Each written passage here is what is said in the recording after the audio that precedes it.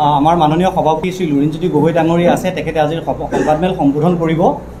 আৰু আজিৰ সংবাদমেলত মাননীয় সভাপতি মহোদয়ৰ উপৰি আমাৰ দলৰ সম্পাদক অমৃত খাটনীয়াৰ ডাঙৰীয়া আছে মুখপাত্ৰ।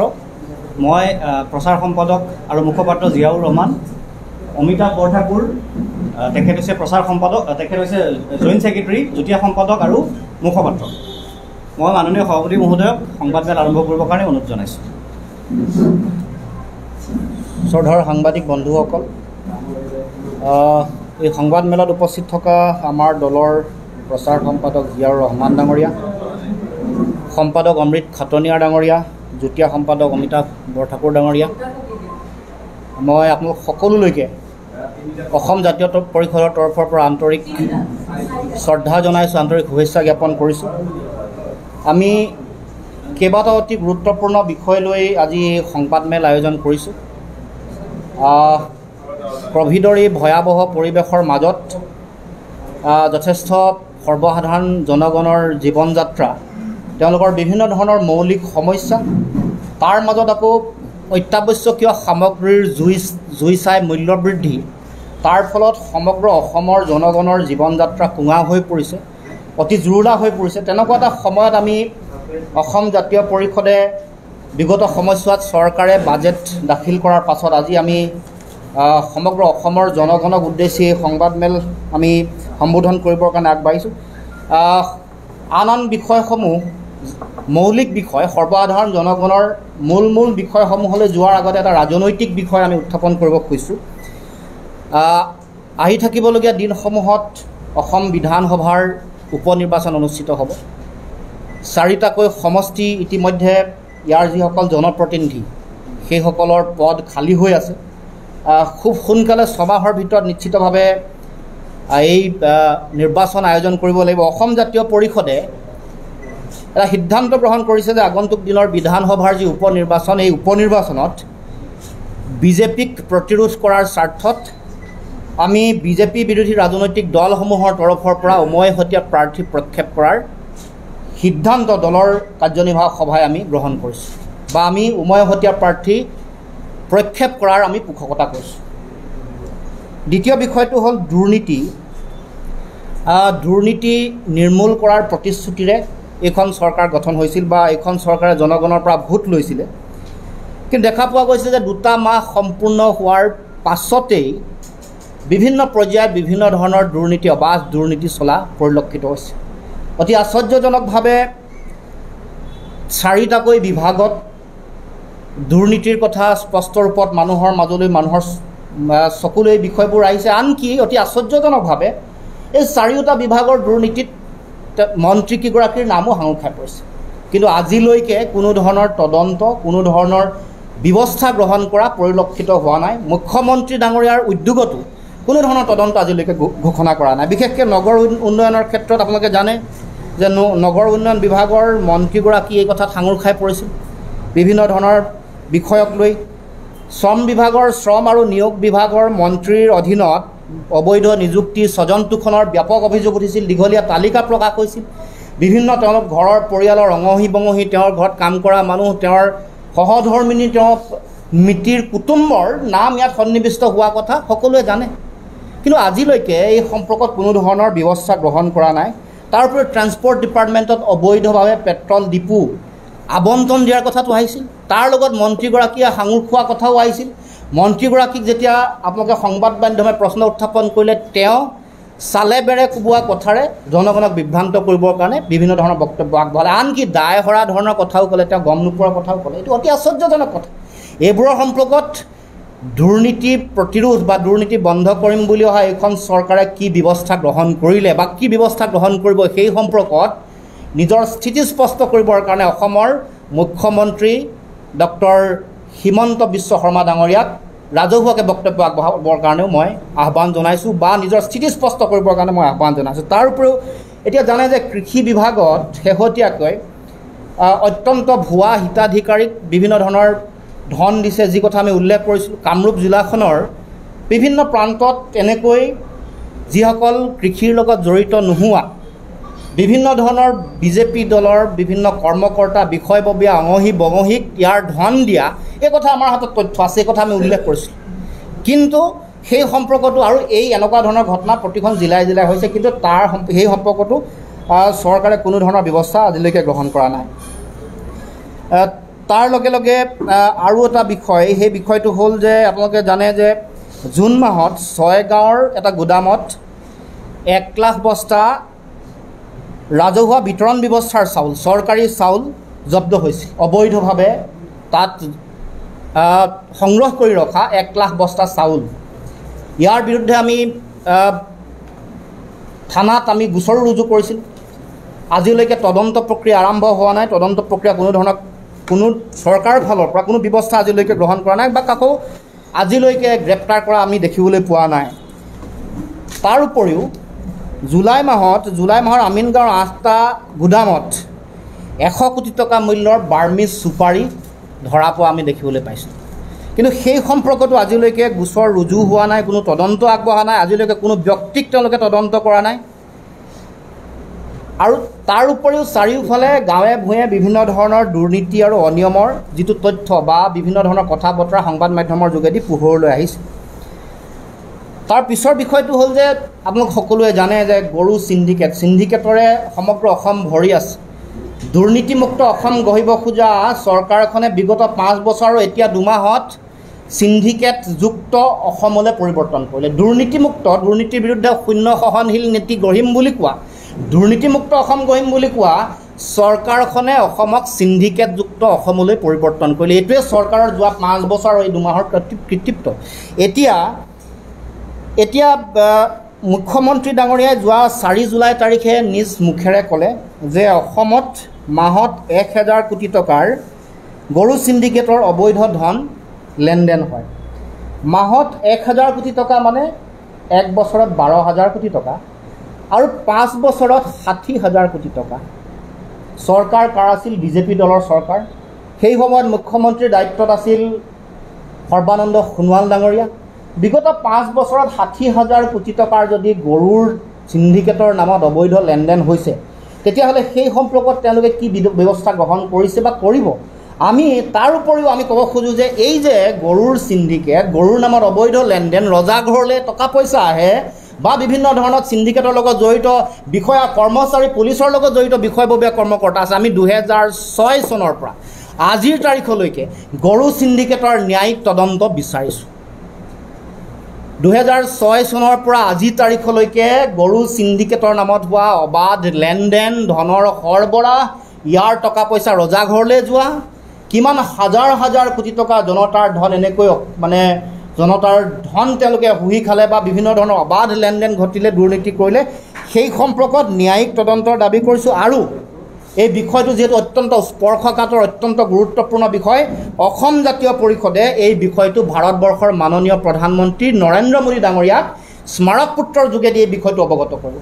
যিহেতু আৰু অসমৰ মুখ্যমন্ত্ৰী ডক্টৰ হিমন্ত বিশ্ব শৰ্মাৰ বক্তব্যৰ উদ্ধৃতি দি ভাৰতবৰ্ষৰ মুখ- প্ৰধানমন্ত্ৰী ডাঙৰীয়াক এই বিষয়টো স্মাৰক পত্ৰৰ যোগেদি আমি অৱগত কৰিম আৰু ইয়াৰ বিৰুদ্ধে যথোপযুক্ত ব্যৱস্থা শক্তিশালী ব্যৱস্থা গ্ৰহণ কৰিবৰ কাৰণেও আমি দাবী উত্থাপন কৰিম। এতিয়া আমি আহ, মূল্য বৃদ্ধি প্ৰসংগলৈ। আপোনালোকক আমি দুহেজাৰ ষোল্ল চনৰ মে' মাহৰ পৰা দুহেজাৰ একৈছ চনৰ মে' মাহলৈকে পাৰকাই পাইকাৰী যিবোৰ মূল্য পাইকাৰী মূল্যৰ এখন আমি তালিকা আগতে আমি দিছিলোঁ আমাৰ দলৰ তৰফৰ পৰা। মে' মাহৰ পৰা আজিৰ তাৰিখলৈকে সোতৰ জুলাইলৈকে। খোৱা পাইকাৰী মূল্য বৃদ্ধি তাৰ লগে লগে খুচুৰা মূল্য বৃদ্ধিৰ এখন তালিকা আপোনালোকৰ হাতত অৰ্পণ কৰিব খুজিছোঁ। ইয়াত দেখা পোৱা গৈছে যে মে' মাহৰ পৰা জুলাই মাহলৈকে বহু সামগ্ৰীৰ মূল্য বৃদ্ধি হৈছে। কিছু মূল্য বৃদ্ধিৰ সামগ্ৰী হোৱা নাই ষ্টেগনেণ্ট হৈ আছে। কিন্তু অতি আশ্চৰ্যজনক ভাবা যিবোৰ সামগ্ৰী মানুহে সচৰাচৰ নিতেও ব্যৱহাৰ কৰে সেইবোৰ সামগ্ৰী অতি উচ্চ হাৰত মূল্য বৃদ্ধি হৈছে। মচুৰ দাইল আপুনি দুহেজাৰ একৈছ চনৰ মে' মাহত মচুৰ দাইলৰ মূল্য ঊনআশীৰ পৰা এশ টকা আছিল এতিয়া বিয়াশীৰ পৰা এশ পাঁচ টকা হ'ল পাইকাৰী মূল্য আৰু অতি আশ্চৰ্যজনকভাৱে খুচুৰা মূল্য সৰ্বসাধাৰণ ৰাইজে যিটো তেওঁলোকে কিনা কিনে সেইটো এশৰ পৰা এশ বিছ টকালৈকে বৃদ্ধি হৈছে তাৰ উপৰিও চাউল আইজোং চাউলৰ মূল্য আছিল মে' মাহত সাতাইছৰ পৰা তেইছ টকা এইটো এতিয়া আঠাইছৰ পৰা ছয়ত্ৰিছ টকালৈ বৃদ্ধি হৈছে আৰু মানুহে সৰ্বসাধাৰণ জনসাধাৰণে খুচুৰা মূল্য আঠত্ৰিছ টকাৰ পৰা পঞ্চল্লিছ টকালৈ বৃদ্ধি হৈছে। বহু বহু তথ্য আমি দিছোঁ কেইবা কেইটামান কথাই আমি হাইলাইট কৰি দিব খুজিছোঁ। তাৰপিছত মিঠাতেল মিঠাতেলৰ দাম মে' মাহত এশ তেৱন্নৰ পৰা এশ তেষষ্ঠি টকা আছিল এতিয়া এশ বাৱন্ন টকাৰ পৰা এশ আঠান্নব্বৈ টকালৈকে বৃদ্ধি হৈছে। আৰু আশ্চৰ্যজনক কথাটো হ'ল ৰাইজে খুচুৰা মূল্য দুশ দহ টকাৰ পৰা দুশ পঁয়ত্ৰিছ টকালৈকে কিনিব লাগে। এইটোৱে হ'ল চৰকাৰখনৰ কৃতিত্ব। আৰু এফালে কয় তেওঁলোকে কৰবিহীন তেওঁলোকে বাজেট তেওঁলোকে উত্থাপন কৰিছে। কৰ লগোৱাৰ কোনো যিটো জি এছ টি কমিশ্যনে কৰ নিৰ্ধাৰণ কৰি দিয়ে তাৰ পাছত অসমত কৰ লগোৱাৰ কথা আহিবই নোৱাৰে। কৰ লগোৱাৰ মূল তথ্যটো ইয়াতে আছে। এইখন পত্ৰতে কৰ লগোৱাৰ তথ্য আছে। তাৰ উপৰিও আমাৰ বিভিন্ন ধৰণৰ টোল গেটৰ টেক্স আছে এশ টকাতকৈ বেছি দামত পেট্ৰল ডিজেল ল'ব লাগে। গেছৰ দাম কিমান বাঢ়িছে এইবোৰ কথা বাদ দি কৰমুক্ত যিটো তেওঁলোকৰ বাজেটৰ মানুহৰ মাজত জনপ্ৰিয় কৰাৰ টাৰ্মিনলজি যিটো ব্ৰেণ্ডিং কৰিব খুজিছে কৰমুক্ত এইটো মানুহৰ মানুহক কৰা প্ৰহসনক বাদ দিয়ে একো নাই আৰু এইখন বাজেট একেবাৰে চূড়ান্ত এখন উৎপাদন এটা এখন বাজেটৰ যিটো উৎপাদনশীল চৰিত্ৰ থাকিব লাগে। উৎপাদনশীল চৰিত্ৰ শূন্য এখন বাজেট কেৱল মাত্ৰ হিতাধিকাৰী সৃষ্টিতে সীমাবদ্ধ। গতিকে আমি মূল্য বৃদ্ধি কেনেকৈ হৈছে সেই সম্পৰ্কত আপোনাক ক'ব খুজিছোঁ। ইয়াৰ লগত যিহেতু বাজেটৰ এটা সম্পৰ্ক জড়িত হৈ আছে সেইকাৰণে বাজেটৰ বিষয়টো উত্থাপন কৰিছোঁ। আৰু আন আন বাজেটৰ লগত জড়িত হৈ থকা কথাও নিশ্চয় মই আপোনালোকৰ আগত উত্থাপন কৰিম। হালধিৰ দাম দুশ পঞ্চাছ টকা আছিল এতিয়া দুশ পঁয়ষষ্ঠি টকা পাইকাৰী হাৰত বিক্ৰী হয় আৰু তিনিশ ত্ৰিছ টকা খুচুৰাকৈ কিনিব লাগে। এয়াই হ'ল মূল্য বৃদ্ধি। চিৰা সৰ্বসাধাৰণ ৰাইজে চিৰা খাই চিৰা যিকেইটা মূল মূল দাম বাঢ়িছে বত্ৰিছ টকাৰ পৰা চল্লিছ টকা আছিল এতিয়া পঞ্চাছৰ পৰা ষাঠি টকা হৈছে আৰু খুচুৰা মূল্য হৈ গ'ল আশীৰ পৰা এশ টকা। পিঁয়াজ পিঁয়াজৰ মূল্য অতি আশ্চৰ্যজনকভাৱে কেইবাটাও। প্ৰতিটো নাচিকৰ পিঁয়াজ ৰাজস্থানৰ পিঁয়াজ বেংগলৰ পিঁয়াজ কোনো পিঁয়াজৰ দাম কমা নাই। এইটো পোন্ধৰ টকাৰ পৰা পোন্ধৰ টকা ষোল্ল টকা আছিল। এইটো মে' মাহত এতিয়া বাঢ়ি তাৰ দাম আপোনাৰ এক ছাব্বিছ টকাৰ পৰা একত্ৰিছ টকা হৈছে।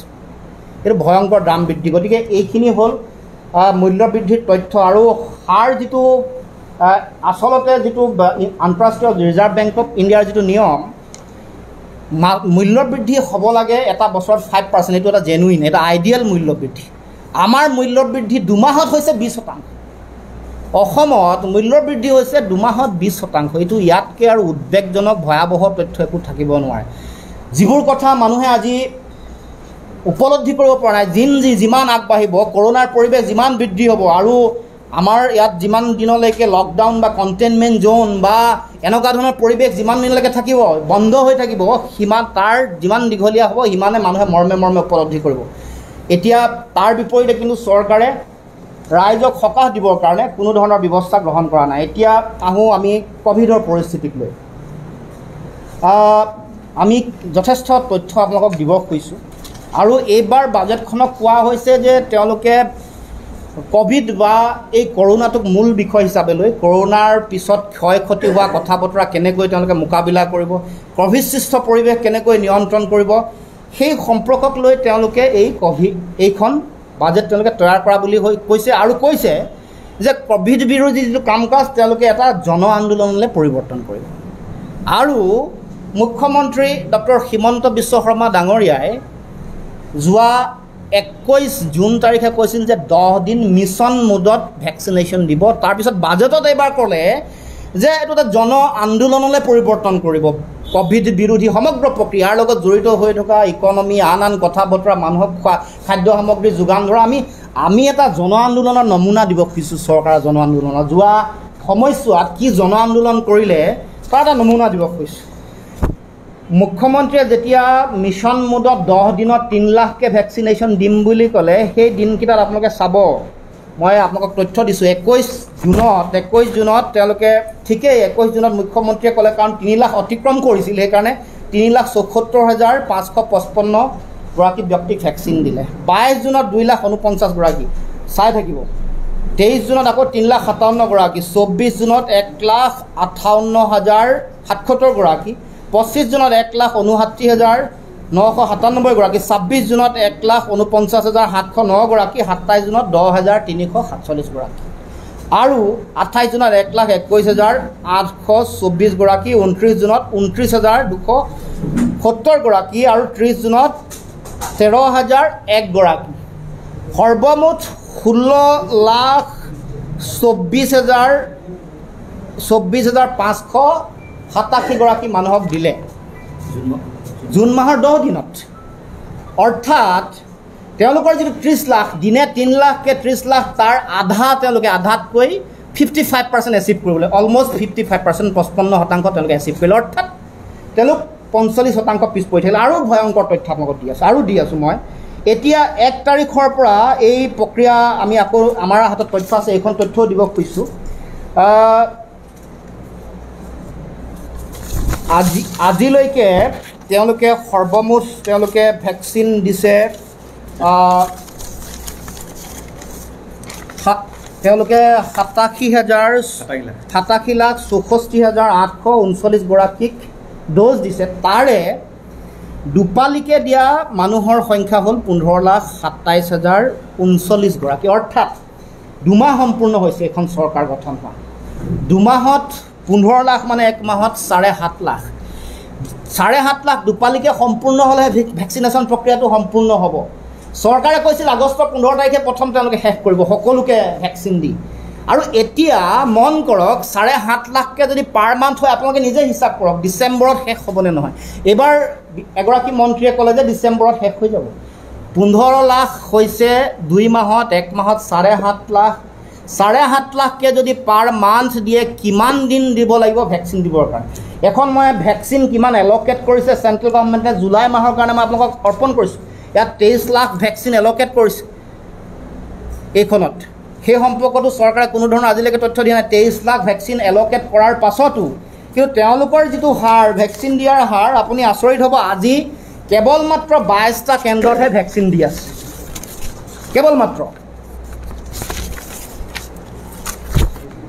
আজি বাইছ বাইছটা কেন্দ্ৰত ভেকচিন দি আছে। আৰু চৰকাৰৰ ভেকচিনৰ কেন্দ্ৰৰ সংখ্যা আছে আঠশ ঊনৈছটা তাৰে সাতশ আঠান্নব্বৈটা চৰকাৰী আৰু ব্যক্তিগত খণ্ডত অধীনত একৈছটা কেন্দ্ৰত তেওঁলোকে ভেকচিনেশ্যন দি আছে।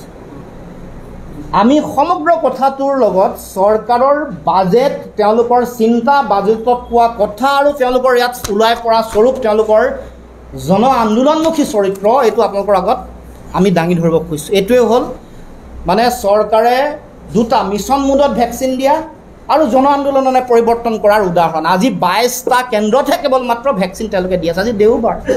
আজি বাইছটা কেন্দ্ৰত কেৱল মাত্ৰ ভেকচিন দি আছে। এই তথ্য আপোনালোকক দিব খুজিছোঁ।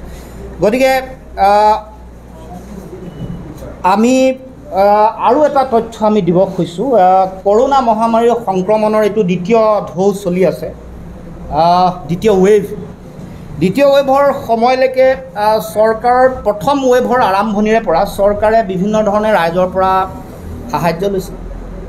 যোৱাবাৰ প্ৰথম ৱেভৰ সময়ত ফাৰ্ষ্ট ৱেভ যেতিয়া আহিলে তেতিয়া স্বাস্থ্যমন্ত্ৰী ডাঙৰীয়াই আৰোগ্য নিধি কৰিছিল। আপোনালোকে সকলোৱে মনত আছে। মুখ্যমন্ত্ৰী ডাঙৰীয়াই আকৌ সুকীয়াকৈ মুখ্যমন্ত্ৰী সাহাৰ্য পুঁজিলে ধন সংগ্ৰহ কৰিছিল। দুটা দুই ধৰণে ধন সংগ্ৰহ কৰিছিল। নিশ্চয় আপোনালোকৰ মনত আছে। এইবাৰ বাৰু স্বাস্থ্যমন্ত্ৰীয়ে সুকীয়াকৈ আৰোগ্য নিধিৰ কাৰণে ধন সংগ্ৰহ কৰিবলৈ সুযোগ পোৱা নাই সুযোগ সুবিধা পোৱা নাই। কিন্তু মুখ্যমন্ত্ৰীৰ সাহাৰ্য পুঁজিলে ধন ৰাইজে দি আছে।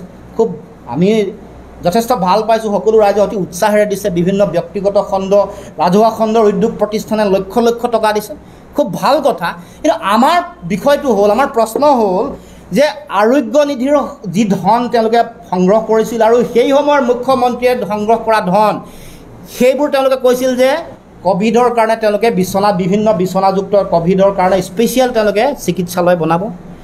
বিভিন্ন ধৰণৰ তেওঁলোকে I C U bedded hospital কৰিব। কিমান কৰিলে কি কি কাম কৰিলে এই শ্বেতপত্ৰ প্ৰকাশ কৰিব লাগে। মুখ্যমন্ত্ৰী ডাঙৰীয়ালৈ আহ্বান জনাইছোঁ শ্বেতপত্ৰ প্ৰকাশ কৰিব লাগে। আৰু এতিয়া মুখ্যমন্ত্ৰীয়ে সাহাৰ্য পুঁজিলে কৰোণাক কৰোণাৰ লগত যুঁজিবৰ কাৰণে যিসকল মানুহে জনসাধাৰণৰ ব্যক্তিগত খণ্ড ৰাজহুৱা খণ্ডৰ প্ৰতিষ্ঠানে যিবোৰ টকা পইচা দি আছে সেইবোৰ তেওঁলোকে ক'ত ক'ত খৰচ কৰিব সেই সম্পৰ্কত ৰাজহুৱাভাৱে শ্বেতপত্ৰ প্ৰকাশ কৰিবৰ কাৰণে আহ্বান জনাইছোঁ। জনতাৰ ধন ৰাইজে জনাৰ অধিকাৰ আছে। যদিও মুখ্যমন্ত্ৰীৰ মানে সাহাৰ্য পুঁজি বা আৰোগ্য নিধিৰ ধন নহওক লাগিলে কি কৰিলে আৰোগ্য নিধিত কাম শ্বেতপত্ৰ প্ৰকাশ কৰিব লাগে আৰু কি কৰিব মুখ্যমন্ত্ৰীৰ সাহাৰ্য পুঁজি বা কিমান আহিলে সেই সম্পৰ্কত ৰাজহুৱা তথ্য প্ৰকাশ কৰিবৰ কাৰণে মই আহ্বান জনাইছোঁ। আৰু এটা বিষয় সেই বিষয়টো যোৱাকালি আপোনালোকে দেখিছে যে এটা অসমত এটা বিৰল দৃশ্য। অসমত অসমৰ মাননীয় মুখ্যমন্ত্ৰী ডাঙৰীয়াই ড্ৰাগছৰ যিবোৰ ড্ৰাগছ ধৰা পৰিছে সেইবোৰ জ্বলাইছে এটা উৎসৱমুখৰ এটা পৰিৱেশ। সাংঘাতিক সংবাদ মাধ্যমসমূহতো একদম প্ৰথম পৃষ্ঠাত এইটো এখন ছবি কোনোবা মানুহ মৃত্যু হ'লে মানে সমাধিত যেনেকৈ তুলি চিতাত জ্বলাই তেনেকুৱা এটা পৰিৱেশৰ মাজেৰে কালি এটা কাৰ্যসূচী কৰা মুখ্যমন্ত্ৰী ডাঙৰীয়াক দেখিবলৈ পাইছোঁ। আমি ভাল পাইছোঁ ড্ৰাগছ ধৰিব লাগে ড্ৰাগছমুক্ত অসম তেওঁলোকে বা ৰাগিয়াল বস্তুমুক্ত অসম কৰিবৰ কাৰণে তেওঁলোকে যি ব্যৱস্থা গ্ৰহণ কৰিছে আমি সদায় তাক আদৰণি জনাই আহিছোঁ আৰু প্ৰয়োজন বিগত সময়ছোৱাত তেওঁলোকৰে চৰকাৰ আছিল ইমান ঘৰে ঘৰে ইমান কেজিয়ে কেজিয়ে কানি হিৰ'ইন কোকেইন এইবোৰ কেনেকৈ থাকি গ'ল আমি অতি আশ্চৰ্যজনক কথা। গতিকে আমাৰ মূল কথাটো হ'ল যে ড্ৰাগছ ধৰিব লাগে যিসকল ইয়াৰ লগত অপৰাধী আছে অতি কঠোৰৰ পৰা কঠোৰতম শাস্তি পাব লাগে তাৰ কাৰণে আইন আছে। আইনখন আপোনালোকে সকলোৱে জানে যে N D P S drugs and psychotropic substance act nineteen eighty five এইখন এক্টৰ মতে ড্ৰাগছ যিসকলে সৰবৰাহ কৰে যিসকলে ড্ৰাগছ খায় ড্ৰাগছ সামগ্ৰী এনেকুৱা ধৰণৰ সামগ্ৰী ডিছপ'জ কেনেকৈ কৰিব লাগে সকলো ধৰণৰ কথা বতৰা ইয়াত উল্লেখ আছে। ড্ৰাগছ কেনেকৈ ডিছপ'জ কৰিব সেই সম্পৰ্কত স্পেচিফিক কথা আছে আৰু এইখন এখন একদম হাইলি এখন টেকনিকেল খুব চাইণ্টিফিক এখন এক্ট এখন। আমাৰ কথা হ'ল যে কালি যে এই যে ড্ৰাগছসমূহ জ্বলাই দিলে আমাৰ সন্দেহ এটাই যে ইয়াক লৈয়ে চাৰ্জশ্বীট বনে। ইয়াৰ পৰা ড্ৰাগ টেষ্টিং লেবৰেটৰীৰ পৰা ৰিপৰ্ট আহে তাৰ ওপৰত ভিত্তি কৰি চাৰ্জশ্বীট বনে তাৰ ওপৰত ভিত্তি কৰি যিসকল অপৰাধী তেওঁলোকৰ কঠোৰৰ পৰা কঠোৰতম শাস্তি হয়। কিন্তু আমাৰ কথাটো হ'ল যে এই যে জ্বলাই দিয়া হ'ল ৰাজহুৱাকৈ আচলতে ইয়াৰ যোগেদি এই অপৰাধীসকলৰ তেওঁলোকৰ এভিডেঞ্চবোৰ শেষ কৰি দিব বিচৰা হৈছে নেকি? নাইকিয়া কৰি দিব বিচৰা হৈছে নেকি? যিমান প্ৰয়োজন এখন ভাল শক্তিশালী চাৰ্জশ্বীট বনোৱা তাতকৈ বেছি ড্ৰাগছ জ্বলাই মানুহৰ মাজত জনপ্ৰিয় হোৱাৰ পপুলাৰ পপুলাৰিটি স্থান কৰিবৰ কাৰণে চৰকাৰে এই কাম কাজ কৰিছে নেকি? সেইটো জনগণৰ মাজত সন্দেহ হৈছে। কাৰণ আইনে এই কথা কৈ দিছে কেনেকৈ কৰিব লাগে ডিছপ'জ কেনেকৈ কৰিব লাগে সেইটোতো আৰু বেলেগে কৰিব লগা কথা নাই। এইটো গৃহ বিভাগৰ বিষয় নহয়। মানে গৃহ বিভাগে জ্বলোৱাটো দায়িত্ব মই নাভাবোঁ যে মুখ্যমন্ত্ৰী ড্ৰাগছ জ্বলোৱাটো তেওঁৰ দায়িত্ব। দায়িত্বটো হ'ল যে অপৰাধীসকলে কোনো কাৰণতে সাৰি যাব নোৱাৰাকৈ চাৰ্জশ্বীট তৈয়াৰ কৰি যাতে কাৰণ এতিয়া যদি এইটো যদি এটা দিনত যদি প্ৰমাণ হয় ড্ৰাগছটো জ্বলোৱাৰ কাৰণে এভিডেঞ্চ নাইকিয়া হৈ গুচি গৈছে। কাৰণ দুমাহৰ কথা দুমাহত মইতো নাভাবোঁ যে ড্ৰাগ টেষ্টিং লেবৰেটৰীৰ পৰা সকলো ধৰণৰ টেকনিকেল ফৰ্মেলিটি সকলো লিগেল ফৰ্মেলিটি শেষ কৰি আনি তেওঁলোকৰ ৰিপৰ্ট বনিব। দুটা মাহ হৈছে চৰকাৰে এইটো গোটেই প্ৰক্ৰিয়াটো আৰম্ভ কৰা এমাহ হৈছে। গতিকে এই কথাবোৰ আচলতে লক্ষ্য ৰাখিব লাগিব এইটোহে মূল কথা। গতিকে আমাৰ আমাৰ মনৰ কথা জনতাৰ মনৰ কথা আৰু এইখন আইনে কোৱা কথা বতৰাৰ সম্পৰ্কতহে আমি ক'ব খুজিছোঁ। গতিকে আপোনালোকে এই বিষয়ত নিজৰ আগন্তুক দিনত সকলোৱে লক্ষ্য ৰাখিব বুলি মই আশা ৰাখিছোঁ। অসমৰ জনগণকো এই বিষয়টো লক্ষ্য ৰাখিবৰ কাৰণে মই আহ্বান জনাইছোঁ। গতিকে বাজেট সম্পৰ্কীয় কথা আমি কৈছোঁৱেই বাজেটত আমি আশানুৰূপ সম্ভাৱনা এটা আমি দেখা পাইছোঁ। কাৰণ ড্ৰাগছ কেনেকৈ ডিছপ'জ কৰিব সেই সম্পৰ্কত আইনখনে কৈছে নহয়? এন ডি পি এছে কৈছে নাইনটিন এইট্টি ফাইভৰ যিখন narcotic drugs and psychotropic substance act act nineteen eighty five dispose কৰা অপৰাধীক ধৰা তেওঁলোকৰ হিৰ'ইন কোকেন কাৰণ সকলোতে কিমান পাৰ্চেণ্টেজ আছে? ধৰা পৰা দহ কেজি হিৰ'ইন কোকেনত অৰিজিনেল পাৰ্চেণ্টেজটো কিমান? কি মিক্স কৰিছে তেওঁলোকে? সেই সকলো তথ্যটো লেবৰেটৰীৰ পৰা আহিব লাগিব। তাৰ ওপৰত ভিত্তি কৰি চাৰ্জশ্বীট বনিব। সকলো কথা ইভেন সেই যে ছাবষ্টেঞ্চ সেই সামগ্ৰী ডিছপ'জ কৰিবৰ কাৰণে এইখন আইনে নীতি নিৰ্দেশনা দিছে। কাৰণ আইনৰ ঊৰ্ধত আপুনিও নহয় ময়ো নহয় মুখ্যমন্ত্ৰী মহোদয়ো নহয়। আইন আমাৰ সকলোৰে ওপৰত সংবিধান আৰু আইনৰ ঊৰ্ধত আমি কোনো নহয়। গতিকে উৎসৱমুখৰ পৰিৱেশতকৈ পপুলাৰিটি স্থানতকৈ অপৰাধীৰ শাস্তি বেছি গুৰুত্বপূৰ্ণ। এইটো কথা মনত ৰাখিব লাগিব। তেওঁলোকৰ চাৰ্জশ্বীট অতি শক্তিশালী কাৰণ আমি দেখিছোঁ যে বিভিন্ন ধৰণৰ ল ভংগ কৰা বিভিন্ন ধৰণৰ কথা বতৰা। এটা সময়ত এটা সময়ত দিন দুপৰতে এটা নৈৰাজ্যবাদী পৰিৱেশ কৰি সুবোধ বিশ্বাসে আক্ৰমণ কৰি বেলেগ এটা কমিউনেল পৰিৱেশ সৃষ্টি কৰাৰ পাছত চাৰ্জশ্বীটৰ দুৰ্বলতাৰ কাৰণে জেলৰ পৰা ওলাই যোৱা পৰিৱেশো দেখিছিলোঁ। গতিকে চৰকাৰখনৰ আন্তৰিকতা আমি আগতে দেখিছোঁ। গতিকে আমি সেইকাৰণে এই যে জ্বলাই দিলে কালি এটা উৎসৱমুখৰ পৰিৱেশ যে কৰিলে এটা পপুলাৰিটি স্থান এটা আমিতো নাভাবোঁ যে মুখ্যমন্ত্ৰী ডাঙৰীয়া ড্ৰাগছ জ্বলাবলগীয়া এতিয়া প্ৰয়োজনীয়তা আছে বহু বিষয়া আছে কৰ্মচাৰী আছে কৰ্মকৰ্তা আছে ডিপাৰ্টমেণ্টৰ মানুহ আছে তেওঁলোকে কৰিবলগীয়া কাম আছে এইবোৰ। গতিকে মই ভাবোঁ যে মানুহৰ মাজত সন্দেহ হৈছে। সন্দেহৰ কাৰণ কাৰণ এইখন আইনমতে সকলো কাম হ'ব লাগিব। আহ, অপৰা কিন্তু এটা কথা এটা ছেইম টাইম কাৰণ আজিকালি কথা ক'লে টুইষ্ট কৰি দিয়ে অপৰাধীয়ে কঠোৰৰ পৰা কঠোৰ শাস্তি পাব লাগে এইটো মূল কথা।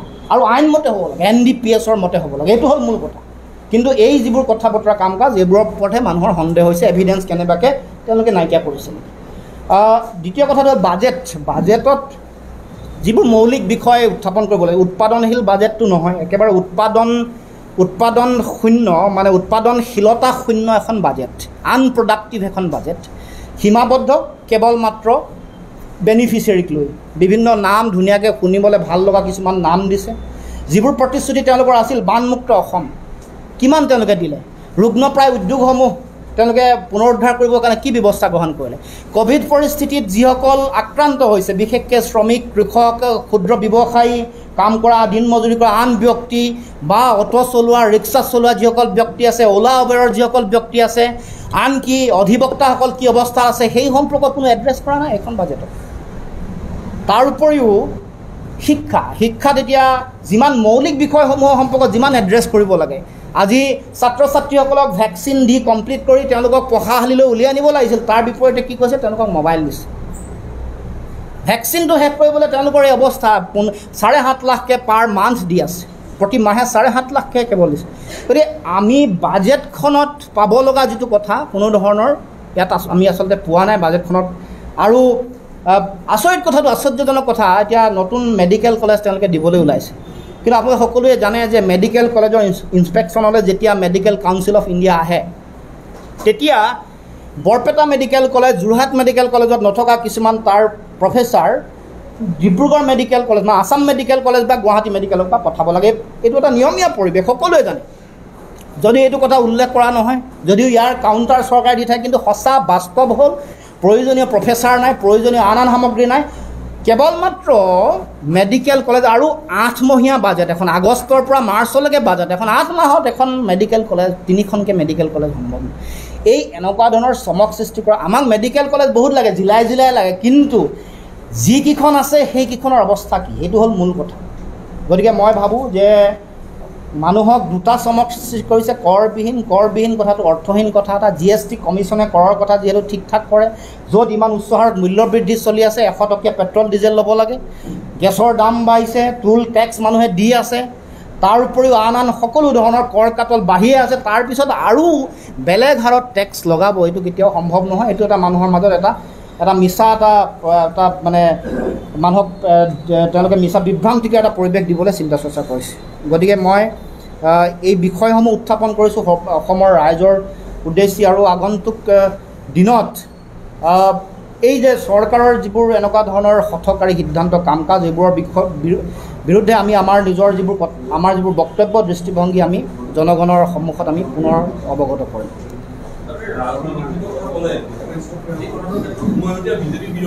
হৈছে উম। নহয় উমৈহতীয়া আমি এলায়েন্সৰ কথালৈ অহাই নাই।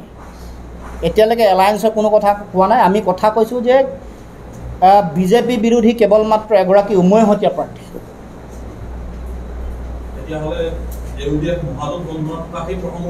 টানি আহিব নেকি মহাজোঁটৰ কথা জোঁট বন্ধনৰ কথাটোত আমি কেতিয়াও কেতিয়াও অহা নাই। জোঁট বন্ধনৰ কথা কেতিয়াও কোৱা নাই। বিজেপিক প্ৰতিৰোধ কৰাৰ স্বাৰ্থত এগৰাকী উমৈহতীয়া প্ৰাৰ্থী। নাই আমাৰতো স্পষ্ট কথা যে বিজেপিক প্ৰতিৰোধ কৰাৰ স্বাৰ্থত এগৰাকী উমৈহতীয়া প্ৰাৰ্থী। সমৰ্থন সমৰ্থন- আৰু এলায়েন্স সেই সম্পৰ্কীয় কথা অহা নাই। এটা কথাটো হৈ গ'ল যে মূল কথাটো হ'ল বিজেপিক প্ৰতিহত কৰাৰ স্বাৰ্থত প্ৰতিৰোধ কৰাৰ স্বাৰ্থত এটা সমষ্টিত এগৰাকী প্ৰাৰ্থীক প্ৰক্ষেপ কৰাৰ পোষকতা কৰিছে।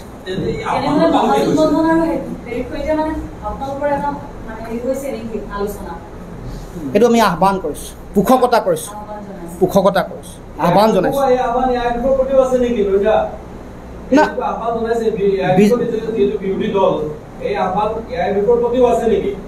নহয় এটা সমষ্টিত এগৰাকী প্ৰাৰ্থী উমৈহতীয়া প্ৰাৰ্থী বিজেপি বিৰোধী। বিজেপি বিৰোধী শক্তি যোন যোন আছে। প্ৰতিটো ৰাজনৈতিক দললৈকে গৈছে বিজেপি উমৈ সতীয়া এগৰাকী প্ৰাৰ্থী। গোটেই বছৰ আমাৰ মতটো প্ৰকাশ কৰিছোঁ যে অসম জাতীয়তাবাদী পৰিষদে জাতীয় পৰিষদে এইটো এটা উমৈহতীয়া পাৰ্টীৰ পোষকতা কৰে। ইয়াৰ পৰিপ্ৰেক্ষিতত এতিয়া আলোচনা বিলোচনা সেইখিনি একো হোৱা নাই কোন আহিব কোন যাব। যিটো ভুল কৰিলে ইলেকশ্যনত যে আপোনালোকৰ কাৰণে হওক বা ৰাইজৰ দলৰ কাৰণে বিজেপি কেইবাটা সমষ্টিত জিকিলে। এইবাৰ এইটো ভুল যাতে নহওক তাৰ কাৰণে আপোনালোকে আহ, বিৰোধী শক্তি একত্ৰিত হৈ নাই ভুল। নাই সেইটো আমি কেতিয়াও ভুল বুলি কোৱা নাই। আমাৰ দৃষ্টিভংগী আদৰ্শ আজিও স্পষ্ট। যে আমি ৰাষ্ট্ৰীয় ৰাজনৈতিক দল সাম্প্ৰদায়িক ৰাজনৈতিক শক্তিৰ লগত আমি কেতিয়াও আজি মহাজোঁটত জোটবন্ধনত নাযাওঁ কিন্তু আমি বিজেপিক প্ৰতিৰোধ কৰাৰ স্বাৰ্থত প্ৰতিহত কৰাৰ স্বাৰ্থত এগৰাকী উমৈহতীয়া প্ৰাৰ্থী দিয়াটো আমি পোষকতা কৰিছোঁ। কথাটো স্পষ্টকৈ বুজি লওক। ইয়াত জোটবন্ধনৰ কথা অহা নাই। আগতেও আমি এই কথা কৈছিলোঁ। আজিও সেই কথা কৈছোঁ পুনৰ আদৰ্শগত নীতিগত প্ৰশ্নত কেতিয়াও আপোচ কৰাৰ প্ৰশ্ন নাহে। কিন্তু বিজেপিক প্ৰতিৰোধ আৰু প্ৰতিহত কৰাৰ স্বাৰ্থত উমৈহতীয়া প্ৰাৰ্থীৰ পোষকতা কৰিছোঁ। বুজাবুজি উমৈহতীয়া প্ৰাৰ্থী বুলি ক'লে বুজাবুজি বুজাবুজি মহাজোঁট একেলগে একে ডাইচত উঠি বক্তব্য ৰাখিব লাগিব সেইটো কথা অহা নাই। আমাৰ আদৰ্শগত প্ৰশ্নত নহয় ন' কম্প্ৰমাইজিং কথা।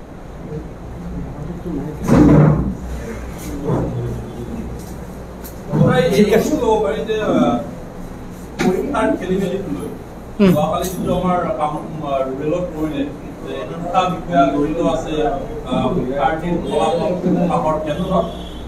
তেখেতসকলে আৰম্ভ এটা ৰেকেট আৰম্ভ হৈছে অৰ্থাৎ ষ্টাৰ ডিষ্টিংশ্যন বা এটা ব্যৱস্থা শিক্ষা বিভাগৰ অভিজ্ঞ আহিছে তেতিয়াহ'লে ফলাফল কিমান আহ, শুদ্ধ হ'ব? তাকে লৈ প্ৰশ্ন লৈ গৈছে এতিয়া উম, চাওক আহ, নে আমিতো ফুল প্ৰুফ মেকানিজিম এটা বিচাৰিছিলোঁ আৰম্ভণিৰ পৰা। চাওক আমি দুটামান কথা স্পষ্টকৈ কৈ ৰাখিছিলোঁ। যে এতিয়া চৰকাৰে ব্যৱস্থাটোৰ সম্পৰ্কত নিজৰে প্ৰশ্ন। তেওঁলোকে সেইকাৰণে ইকুৱেলাইজিং টেষ্ট পাতিব লাগে বুলি এখন নটিচ উলিয়াই দিছে। আমাৰ কথাটো হ'ল যে ছাত্ৰ ছাত্ৰীসকলৰ ওপৰত দুবাৰ কিয় হাৰাশাস্তি কৰিছে? তেওঁলোকে আজি বঞ্চিত হৈছে ৰাষ্ট্ৰীয় আন্তঃৰাষ্ট্ৰীয় পৰ্যায়ত প্ৰতিযোগিতাত অৱতীৰ্ণ হ'বলৈ হ'লে তেওঁলোকে যে এতিয়া এই যে এনেকুৱা এটা ব্যৱস্থাৰ মাজত তেওঁলোকে তেওঁলোকৰ ইভালুৱেশ্যন হ'ব তেওঁলোকৰ মাৰ্কিং ছিষ্টেম হ'ব তাৰ পাছত এইবাৰ চাৰ্টিফিকেট লোৱাৰ পাছত তেওঁলোকে আকৌ কলেজৰ অধ্যাপক অধ্যাপিকা বা টেট পৰীক্ষাত অৱতীৰ্ণ হ'বলৈ হ'লে বোলে আকৌ পুনৰ তেওঁলোকে ইকুৱেলাইজিং পৰীক্ষা এটা দিব লাগিব। ইকুৱেলাইজিং পৰীক্ষা টেট পৰীক্ষাটো দিওঁতে বেলেগ বেলেগ প্ৰান্তৰ বিভিন্ন পাৰ্চেণ্টেজৰ ল'ৰা ছোৱালীৰ মাজত ইকুৱেলাইজিং তেওঁলোকে সেইটোৱে টেষ্ট টেট টেটৰ যিটো পৰীক্ষা। তাৰ উপৰিও এই একৈছ চনৰ এই দুয়োটা বেষ্টৰ মানুহক আকৌ ইকুৱেলাইজিং টেষ্ট লোৱা কথাটো আচলতে তেওঁলোকৰ ওপৰত এটা দুটা হেঁচা তেওঁলোকক অলপ বিশেষ ধৰণে চোৱা হ'ব। তেওঁলোকে ইকুৱেলিটিটো আন মানুহৰ লগত নাথাকিব। সেইকাৰণে প্ৰথমে কৈছিলোঁ যে মেকানিজিম মেচিনাৰী যি ঠিক কৰক যাতে তেওঁলোকে ন্যায় পায়। এই সন্দেহটো চৰকাৰে প্ৰথমেই কৈ দিছে যে তেওঁলোকৰ তেওঁলোকে বেছি নম্বৰ পাব কোনোবাই কয় কম নম্বৰ পাব। তাৰমানে অৰ্থাৎ মেচিনাৰীটো গণ্ডগোল আছে তোমালোকে লোৱা যিটো প্ৰচেছ প্ৰক্ৰিয়াটো তোমালোকৰ নিজৰে সন্দেহ। চৰকাৰৰ নিজৰে সন্দেহ যে এই ব্যৱস্থাটোৱে ন্যায় দিয়া নাই। গতিকে আমি কৈছোঁ যে ন্যায় দিয়া ব্যৱস্থা এটা দিয়া। ছাত্ৰ ছাত্ৰীসকলৰ মানসিক হাৰাশাস্তি যাতে হ'ব নোৱাৰে। আৰু এতিয়া যিহেতু এই কথাবোৰ আহিছে যে টকা পইচাৰ লেনদেন হৈছে এইবোৰ কথাই গোটেই প্ৰক্ৰিয়াটো ফুল প্ৰুফ যে নহয় এই কথাটোকে প্ৰমাণ কৰিছে। এই কথাটো আমি আগতে আশংকা ব্যক্ত কৰিছিলোঁ। আমি সংবাদমেল পাতি এই এই কথাটো আমি আগতে কৈছোঁৱেই বাৰে বাৰে কৈছোঁ। এনেকুৱা হ'ব বুলি আমি অসম জাতীয় পৰিষদে আজিৰ পৰা পোন্ধৰ বিছ দিনমান আগত সংবাদমেল অনুষ্ঠিত কৰি আমি কৈছিলোঁ যে এইটোৱে হ'বলৈ গৈ আছে। চৰকাৰে যিটো মেকানিজমত পৰীক্ষা পাতিবলৈ গৈছে সেই মেকানিজমত লেকুনা আছে তাত দুৰ্নীতি হ'ব স্বজন তোষণ হ'ব এই কথাটো আজিৰ পৰা পোন্ধৰ বিছ দিন আগত সংবাদমেল পাতি আমি ইয়াতে গৈ কৈছিলোঁ আপোনালোকৰ আগত। আৰু সেই কালি সেইটো হ'ল ওলাই ওলাই গ'ল স্বজন তোষণ হৈছে দুৰ্নীতি হৈছে এইটো ওলাই গ'ল। আমি আশংকা প্ৰকাশ কৰাটোৱে সত্য প্ৰমাণিত হ'ল। নাই তেনেকুৱা কোনো কথা নাই। কাৰণ এইবোৰ বিষয়ে আমাৰ দলৰ মাজত কাৰ্যনিৰ্বাহকত আলোচনা বিলোচনা কৰি পৰৱৰ্তী দিনৰ সিদ্ধান্ত হ'ব। কোন হ'ব প্ৰাৰ্থী ক'ত খেলিব ক'ত নেখেলিব সেই সম্পৰ্কত পৰৱৰ্তী দিনত চাওক এইটো কোনো ধৰণৰ তেনেকুৱা ব্যক্তিগত কথা বতৰা ইয়াত নিৰ্ভৰ নকৰে। ইয়াত হৈ গ'ল আমি এটা গণতান্ত্ৰিকভাৱে চলা এটা দল। আমি আমাৰ কাৰ্যনিৰ্বাহকত আলোচনা বিলোচনা কৰি কোন হ'ব প্ৰাৰ্থী সেই সম্পৰ্কত আমি চূড়ান্ত সিদ্ধান্ত। থেংক ইউ ছ' মাছ আপোনালোক সকলোকে ধন্যবাদ জনাইছোঁ? অঁ চাহ একাপ একাপ খাই যাব আপোনালোকক চাহ খাবলৈ অনুৰোধ কৰিলোঁ। হয়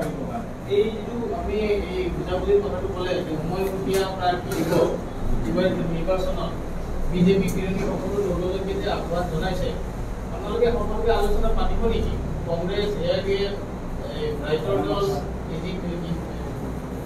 আহ, মানে আলোচনাৰ প্ৰক্ৰিয়া বা মানে গোটেই বিষয়টো কেনেকৈ আগবাঢ়িব সেই সম্পৰ্কত পৰৱৰ্তী দিনত সিদ্ধান্ত ল'ব লাগিব।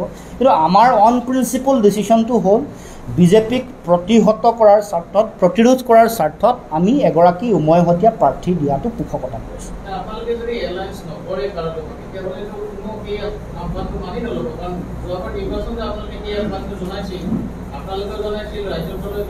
যোৱাবাৰ যোৱাবাৰ আমাৰ দৃষ্টিভংগীটো আছিল যে আঞ্চলিক ৰাজনৈতিক শক্তিসমূহ ঐক্যবদ্ধ হ'ব। লাগে আঞ্চলিক ৰাজনৈতিক শক্তিসমূহ ঐক্যবদ্ধ হ'ব লাগে সেই কথাটো আমি আহ্বান। আমাৰ কাৰ্যনিৰ্বাহকত যিটো কথা আলোচনা হৈছে মাননীয় সভাপতি মহোদয়ৰ অনুমতিক্ৰমে কথাটো কৈ দিছোঁ আপোনালোকক। সেইটো হ'ল মিত্ৰতাৰ কথাটো এতিয়া অহা নাই এতিয়া অসম জাতীয় পৰিষদে নিজৰ মত ব্যক্ত কৰিছে। অকল অসম জাতীয় পৰিষদ এটা ৰাজনৈতিক দল নহয় বহুকেইটা ৰাজনৈতিক দল আছে যি যিকেইটা দল বিৰোধী শিবিৰত আছে। অন্যান্য ৰাজনৈতিক দলসমূহে তেওঁলোকৰ মতামতো ব্যক্তি কৰক ব্যক্ত কৰক আৰু তাৰ পিছত কি পৰিস্থিতিৰ সৃষ্টি হয় তাৰ ওপৰত ভিত্তি কৰি কাৰ্যনিৰ্বাহকে আলোচনা কৰি সিদ্ধান্ত গ্ৰহণ কৰিব?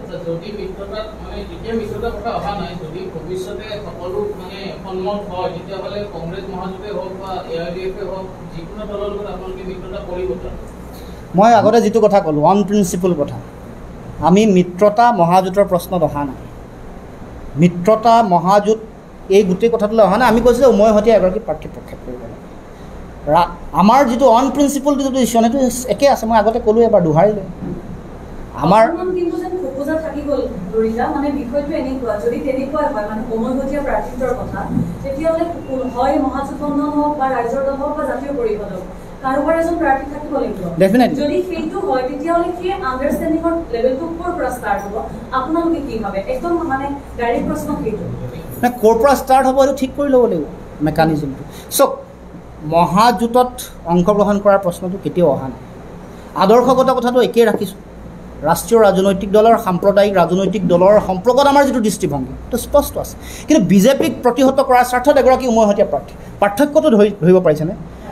অন প্ৰিন্সিপল আদৰ্শগত প্ৰশ্ন আমাৰ আদৰ্শৰ দৃষ্টিভংগীত অকণমানো পাৰ্থক্য অহা নাই কিন্তু যিহেতু বিজেপিক প্ৰতিহত কৰিব লাগে প্ৰতিৰোধ কৰিব লাগে সেইকাৰণে এগৰাকী উমৈহতীয়া প্ৰাৰ্থী। বুজি পাইছেনে?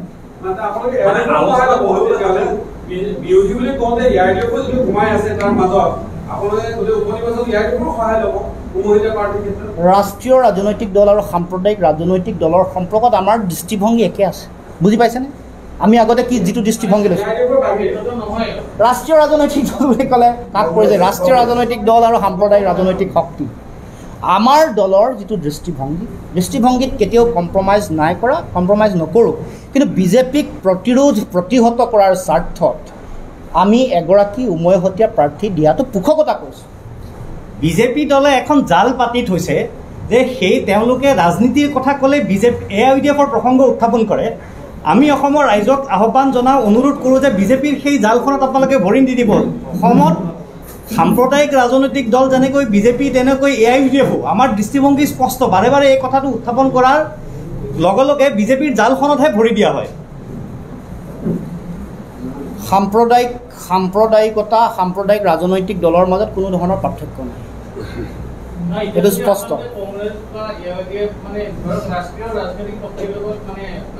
আপোনালোকে কংগ্ৰেছ বা এ আই ডি এফ মানে ধৰক ৰাষ্ট্ৰীয় ৰাজনৈতিক শক্তিৰ লগত মানে এ, মিত্ৰতা নকৰে তেতিয়াহ'লে কাৰ লগত কৰিব কাৰণ চি পি এমৰ লগত কৰি বা ধৰক চি- কৰিব লাভ নহ'ব চি পি এমৰ ৰাষ্ট্ৰীয় ৰাজনৈতিক দল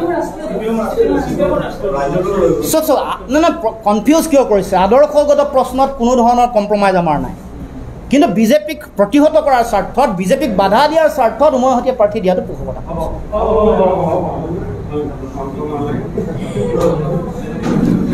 সকলোকে একাপ কাপ চাহ খাই যাবৰ কাৰণে অনুৰোধ কৰিলোঁ।